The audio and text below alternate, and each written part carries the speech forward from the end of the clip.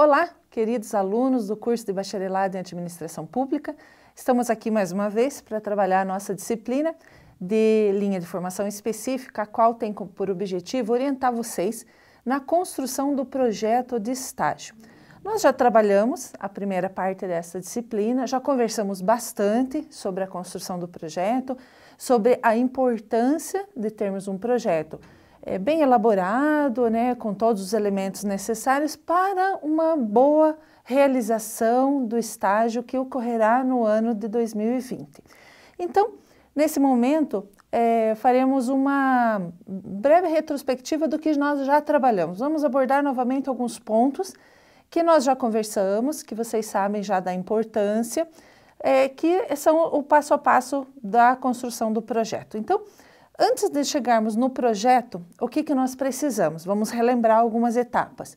A formação da nossa equipe. A formação da nossa equipe já está ok? Já tenho a minha equipe é, composta por uma, é uma dupla, é um trio, né? Conforme a coordenação já orientou vocês. Então, já tenho a minha equipe? Ok, perfeito. Tenho a instituição de ensino onde eu vou realizar de acordo com a linha de formação específica que eu escolhi? Ok, se isso já está definido, perfeito. Então, eu já consigo começar a trabalhar no meu projeto. Se isso ainda não está definido, a hora é agora, né? Não podemos perder os prazos.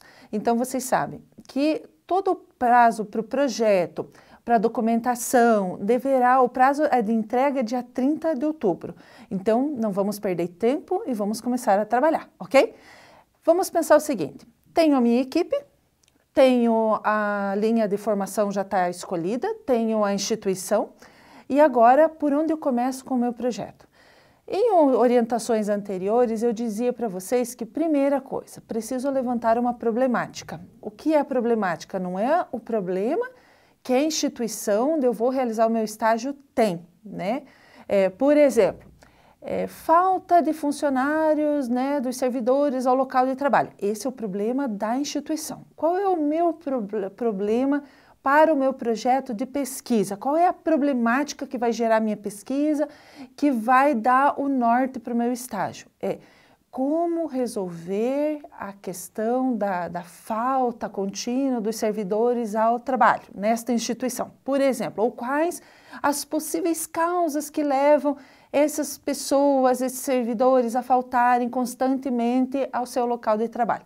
Então, essa é a minha problemática, é o meu problema de pesquisa, é o problema de pesquisa da minha equipe.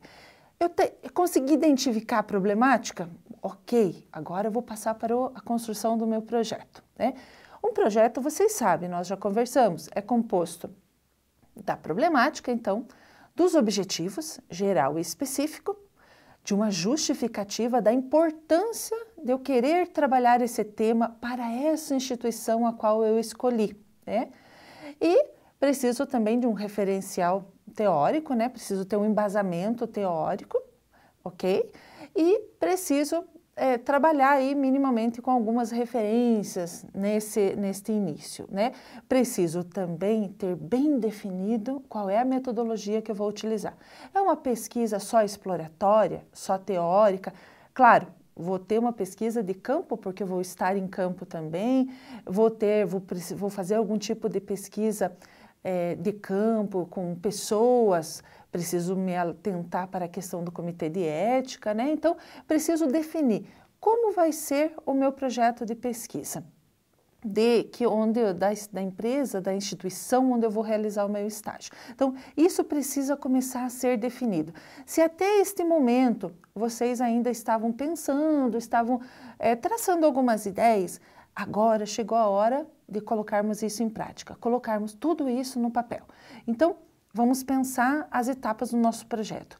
Vamos definir uma problemática, precisamos ter um objetivo, lembrando que a, a, instituição abriu as portas para nós e nós precisamos realizar um estágio, realizar uma pesquisa e que contribua para essa instituição, que leve para ela alguma proposta de solução ou alguma alternativa que minimize aquele problema, né, aquela situação de gestão que a gente identificou lá dentro. Então, quando pensarmos no projeto, precisamos pensar também, não perder o foco, que essa instituição conta com o nosso conhecimento, ela conta com as informações que nós vamos gerar para eles, ok? Né? Não vamos esquecer disso, que nós temos este compromisso também.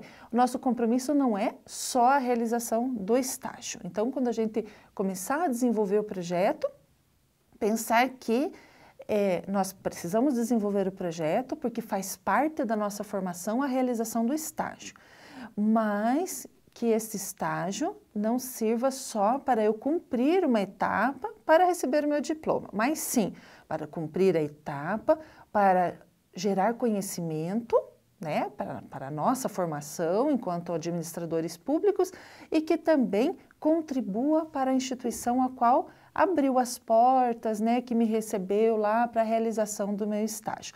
Então, pensando no estágio no projeto, que ele é uma via de mão dupla. Eu contribuo com a instituição e a instituição também contribui comigo, ok? E essa, essa é a nossa obrigação, né, de, o nosso compromisso aí com a sociedade. Ok, gente? Então, vamos pensar. Não esquecer do projeto, elaborar, ter, ter muito claro qual é a problemática que vai gerar este estudo nessa instituição. É, elaborar um objetivo geral, que é aquele objetivo maior, que é o macro, que a gente já conversou. Em seguida, elaborar objetivos específicos, né? Lembrando sempre que um objetivo ele é futuro, então cuidando com o verbo, assim como no geral. Lembrando que um objetivo geral, bem planejado, bem definido, com três linhas eu consigo elaborar ele. Né? Não preciso é, inventar muita coisa. É, pensar que é um objetivo só macro. E os objetivos específicos são parte que eu preciso realizar, né? Para atingir o geral. Então, com certeza, eu vou ter aí, por isso o próprio nome já diz, objetivos específicos, né? Por quê? São partes que eu preciso, ações que eu preciso realizar para cumprir o meu objetivo geral, certo? Aí, claro, eu vou ter um, do, uh, vou ter um não, um não pode, porque senão seriam objetivos específicos, né? É, terei dois, três, quatro objetivos. É bem verdade que fica muito lindo na elaboração do projeto colocar lá dez objetivos, mas eu preciso saber se eu vou conseguir atingir esses objetivos, é? Porque tudo que estiver no projeto e no projeto que será entregue no dia 30 de outubro, até o dia 30 de outubro, é, eu preciso realizar. Então, se eu colocar alguma ação no projeto, vocês colocarem lá uma ação, e daí chegar ao final do trabalho e dizer, olha, essa pesquisa, por exemplo, eu não consegui realizar, é, infelizmente, você não cumpriu um objetivo, então você não cumpriu o teu estágio. Então, um alerta, quando vocês fizerem a proposta dos objetivos específicos, do objetivo geral, depois dos específicos para cumprir o geral, pensar que é, é uma cadeia, né? Eu tenho um problema, uma problemática, o meu objetivo geral tem que dar conta de responder essa problemática, e para responder então essa problemática, para atingir o objetivo geral, eu tenho que fazer pequenas ações. Então, e que essas ações sejam de fato cumpridas, né? Uma outra parte do projeto precisa ter uma justificativa. O que, que é esta justificativa do projeto? É dizer qual é a importância de eu estar realizando um estudo nessa área, qual a importância de eu ter me preocupado com esta situação que essa instituição que abriu as portas para a realização do estágio é, seja então realizada, né? Qual a importância desta, dessa pesquisa, de todo esse trabalho, de todo esse envolvimento? A justificativa precisa iniciar com um embasamento teórico, não muito longo, né? mas eu preciso ter um embasamento teórico e depois justificar a importância. Na sequência, eu preciso dizer qual é o método que eu vou utilizar nesse meu trabalho. Né? Vou utilizar de pesquisas bibliográficas, de pesquisa de campo, em muitos momentos de pesquisa documental, né? Vou acessar arquivos da instituição para poder entender o histórico, poder levantar as informações necessárias. Então, eu preciso relatar, e isso também é importante, que vocês tenham um embasamento teórico. Né? Eu até é, sugiro aqui que vocês procurem é, observar o livro do Antônio Carlos Gil, que é como elaborar projetos de pesquisa, né, e pesquisa aplicada, que é o que vocês vão fazer no estágio. Então, fazendo isso, colocando depois a metodologia, vocês devem também colocar uma listagem das referências bibliográficas. esse é o nosso projeto. Essas são todas as etapas de um projeto. Que, se vocês me perguntarem, quantas páginas, professora, deve ter um projeto? Acho, eu penso que a gente até já conversou um pouquinho sobre isso, mas eu diria para vocês que um projeto bem feito, com o embasamento teórico necessário na justificativa e, e na metodologia, né? É, bem definido, com cinco páginas, você faz um projeto perfeito para ser executado numa empresa. E um projeto que ele é tem cinco páginas, que ele é complexo, porque ele vai te dar um trabalho de estágio de um ano inteiro. Então, começar a pensar no projeto, estamos nos encaminhando para a reta final do curso, estamos no, no, penúltimo ano do curso, né? Chegamos ao estágio e agora pensar neste projeto que de fato ele possa ser executado e que não seja um peso para nós, porque o estágio, nós chegamos no, no, na fase do estágio, da elaboração do projeto, parece que o estágio é o bicho papão do curso, né? Que ele vai acabar com a nossa vida. Não acaba com a vida de ninguém, é tranquilo, né? Prova disso, estou aqui, já passei por estágio também. Claro, é, vocês vão dizer assim, é, é muito difícil? Ele é complexo, ele é feito de várias etapas, eu preciso cumprir uma carga horária na instituição, eu tô ah, né, no estágio nós levantamos problemas reais e buscamos soluções reais também, né, aliado à pesquisa. Então, é uma etapa complexa que eu não posso perder prazos, porque se a gente começa a enrolar um pouco, não, não faz um projeto bem feito, aí quando começa o estágio é aquela correria, eu não sei direito, não tenho empresa direito, é a instituição no nosso caso, né, por ser administração pública, então aí sim, aí a coisa começa a ficar um pouco mais difícil.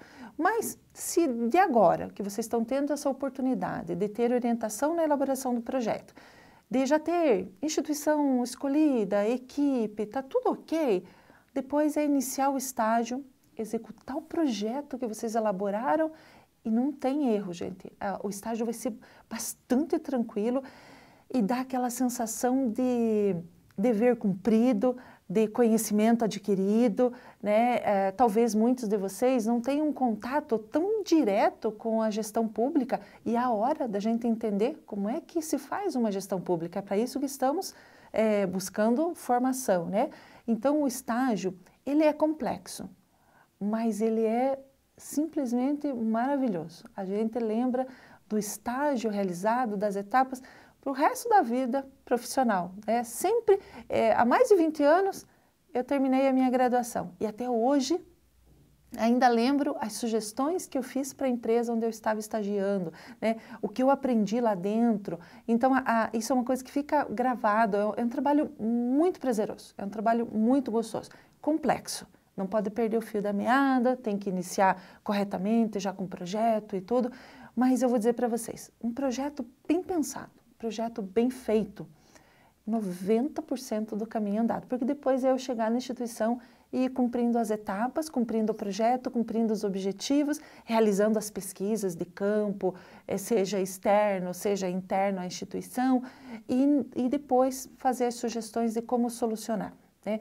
Tenho certeza que vocês já estão aí no penúltimo ano do curso, vocês já têm conhecimento suficiente como gestores públicos pra, para contribuir com essas instituições que abriram as portas e que, com certeza, estão com uma expectativa muito grande no nosso trabalho.